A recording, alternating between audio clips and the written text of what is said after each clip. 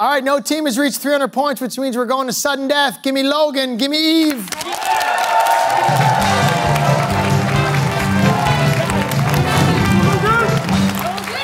All right. Real simple. There's one question, only one answer. Whoever gets it, you're playing for $10,000. That's it.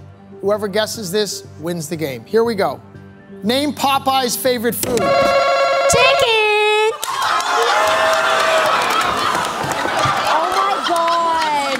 God! Show me chicken. Spinach, Gerry. Show me spinach.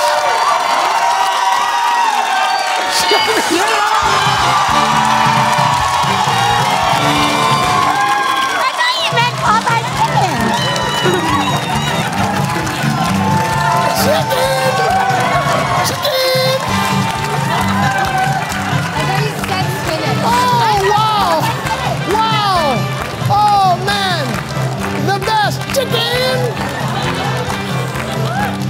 Hey, don't forget to click subscribe and get more Family Feud Canada videos in your feed.